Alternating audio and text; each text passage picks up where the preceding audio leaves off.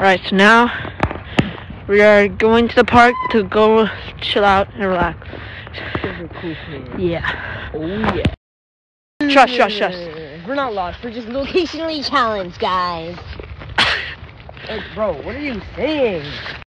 Bro, how could you get us lost? We're not lost. You're so dumb. Oh, you don't know where you're going. Yeah, yeah, yeah. It says it would have got us lost.